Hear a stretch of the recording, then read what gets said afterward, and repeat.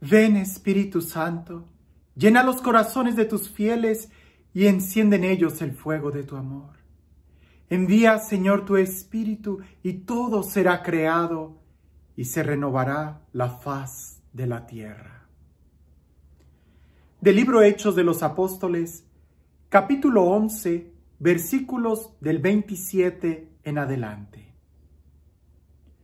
Por aquel tiempo bajaron unos profetas de Jerusalén a Antioquía. Uno de ellos, llamado Ágabo, movido por el Espíritu, se levantó y profetizó de una feroz hambruna azotaría toda la tierra. Es la que hubo en tiempos de Claudio. Los discípulos determinaron enviar algunos recursos según las posibilidades de cada uno para los hermanos que vivían en Judea. Así lo hicieron se lo enviaron a los presbíteros por medio de Bernabé y de Saulo.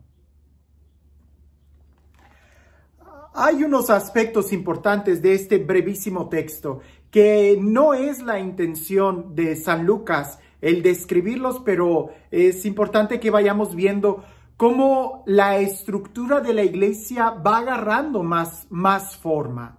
Anteriormente solamente se hablaba de apóstoles, discípulos. Y luego apóstoles, diáconos, discípulos. Y ahorita se introducen otros dos ministerios, el de, el de profeta y el de presbítero. Eh, San Lucas en Hechos de los Apóstoles no nos va describiendo exactamente qué es lo que hace cada uno de ellos, pero sí se va viendo que hay una estructura, ¿no? El, el hecho de que hay apóstoles, que hay diáconos, hay profetas, describe de una manera muy breve, que son los que hablan por inspiración divina. Los presbíteros, sacerdotes, es, es una, es la misma palabra, presbítero, sacerdote. Eh, también están eh, los, los diáconos. Son palabras que se van agregando, que van hablando del crecimiento de una estructura dentro de la iglesia. Ahora, otro, otro punto que es importante es de que Ágabo, y muchos han de decir, bueno, ah, exactamente qué es un profeta, porque el día de hoy a veces escuchamos la palabra profeta eh, como aquel que predice el futuro, ¿no? Nos tradamos el profeta y cosas por el estilo, no, eso, eso no tiene nada que ver con la raíz bíblica o con el sentido bíblico. Profeta es aquel que habla de parte de Dios en una inspiración.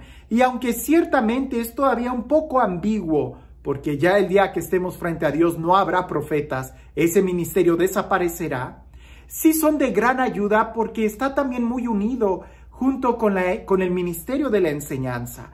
Eh, eh, este tema sería bueno abordarlo de una manera separada para poder desarrollar bien lo que sí es un profeta y cómo es que el profeta de una manera carismática ayudaba mucho en, en la formación de la comunidad. En este momento solamente es importante que nosotros eh, repasemos qué fue lo que dijo y la, la reacción que tuvo la comunidad. Porque este mismo profeta Ágabo, que en ese momento anunció de parte de Dios que iba a venir una hambruna muy fuerte en toda la tierra eh, y que mandan a, a Saulo, a Pablo, a Jerusalén, es el mismo que también le profetizó a Saulo su cautiverio. Ya lo vemos casi al final del libro de Hechos de los Apóstoles. Entonces podemos ver ahí una gran enseñanza entre ser dócil a lo pequeño, escucha con atención lo pequeño, prepárate, porque después vendrán cosas grandes. Y Saulo estuvo presente en ambas profecías que el mismo profeta dio. Estamos hablando de Ágabo. Ahora bien, él pronosticó que había una, que iba a haber una hambruna en toda la tierra. No era solamente para algunos, no era que algunos pocos iban a tener pobreza, sino que todos. Pero la actitud que tiene esta comunidad cuando se entera es, es preferible tener un hambre y no dos. Es decir, si sabemos que todos vamos a tener hambre y si sabemos que los de las comunidades de allá están padeciendo más porque están en diferente situación que nosotros, pues nosotros es mejor que nada más tengamos hambre de cosas materiales y no además hambre espiritual que la tendríamos por no compartir. Y ellos deciden, en la medida de lo posible de cada uno, dar una colecta para ayudar a aquellos. Esto es muy importante porque el, tener un mismo corazón y un mismo espíritu no se da solamente cuando todo está bonito, sino también en los momentos de dificultad. Es preferible que todos tengamos poca hambre y no que solamente unos pocos tengan mucha hambre. Aquí volvemos a lo mismo que se dijo en un principio, es estar unidos, primero de corazón, después de espíritu y ya después ver también las formas materiales de poder estar en sintonía. Porque no se trata, y los primeros cristianos no lo vivían, no vivían el Evangelio solamente de intenciones, sino que en verdad lo ponían en práctica.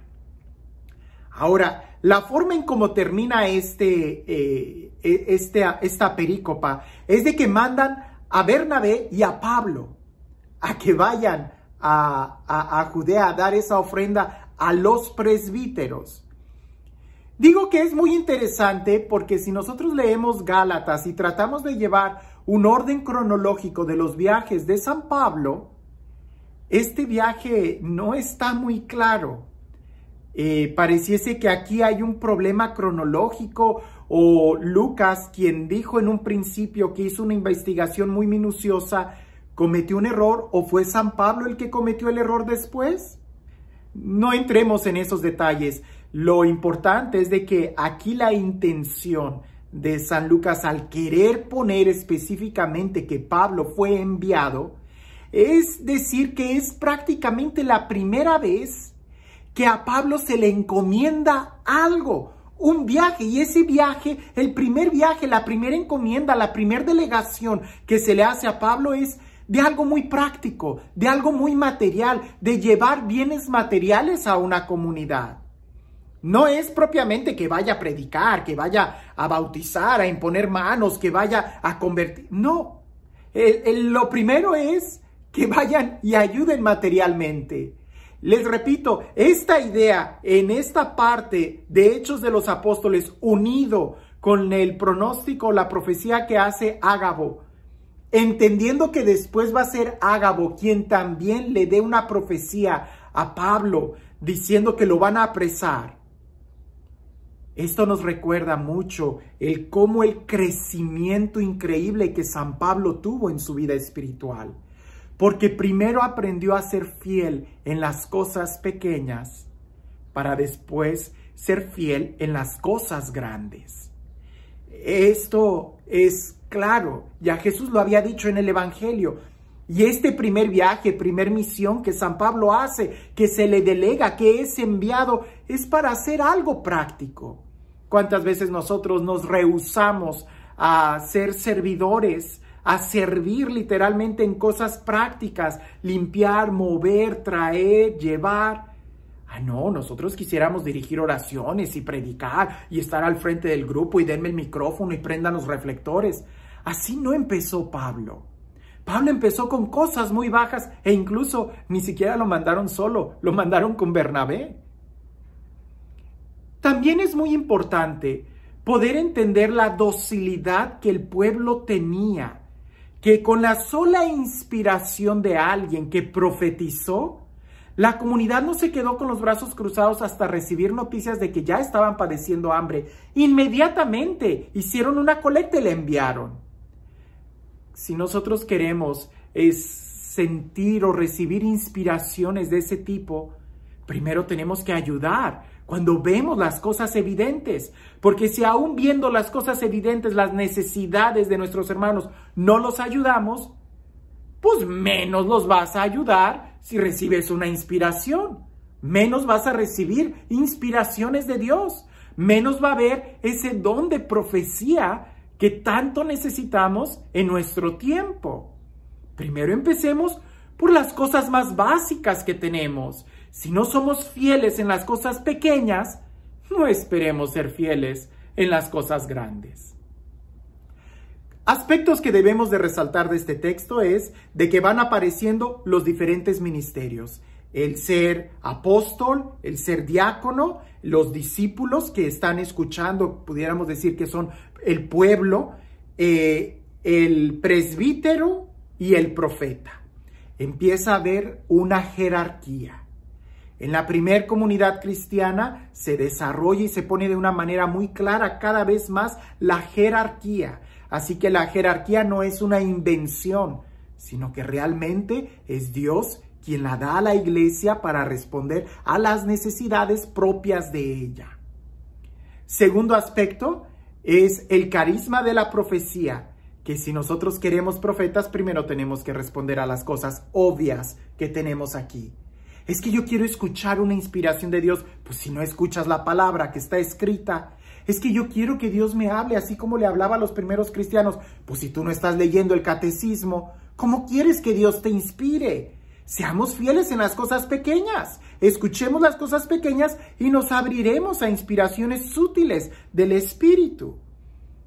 Igual que San Pablo, antes de querer alcanzar misiones grandes de conversión y campañas de fe y evangelizaciones y congresos grandes, empieza primero siendo fiel en las cosas pequeñas, en los viajes que se te encomiendan, en los servicios que se te encomiendan. Recuerda que aunque Siempre conocemos al apóstol Pablo como aquel gigante de la fe, pero se nos olvida cómo fue el periodo de crecimiento. Al principio a él le costó mucho, pero fue logrando aprender cómo trabajar en comunidad y aprendió que el que es fiel en las cosas pequeñas, también lo será en las grandes. Pretender ser fiel en las cosas grandes sin antes haber demostrado que eres fiel en las cosas pequeñas es un gran riesgo porque cuando te tropieces va a ser muy grande el dolor y difícilmente te levantas de una herida. Por eso, de una manera muy prudente, Bernabé supo guiar a San Pablo. Nosotros queremos recibir inspiraciones del Espíritu. Empecemos primero con las cosas que tenemos en nuestra mano, en las cosas claras que se nos está dando. Segundo, respetamos, conocemos y honramos la jerarquía. Tercero, la caridad que practicamos, la practicamos porque sale de nuestro corazón o porque alguien nos tiene que pedir ayuda. Si todavía estás ayudando solamente cuando se te pide, pues estamos todavía muy lejos de abrirnos a la inspiración de Dios. Y el último punto que San Pablo podemos aprender de él es ser fiel en las cosas pequeñas. Ese viaje que San Pablo hizo quizás fue el más importante, porque en el servicio, en las cosas más básicas, él logró darse cuenta de la verdadera hambre y de lo que verdaderamente él estaba llamado a hacer. Sin eso, sin ese viaje, sin esa encomienda, sin ese servicio, quizás San Pablo no se hubiera desarrollado tan grande. Así que creo que es importante que nosotros podamos repasar esto. Es mejor tener una sola hambre, la física, y no dos, la física y la espiritual. Es mejor que todos tengamos poca hambre y no que solamente un pequeño grupo tenga mucha hambre. Estas pequeñas líneas de Hechos de los Apóstoles nos deben de confrontar en cómo el día de hoy estamos viviendo nuestra fe. Que tengas un excelente día.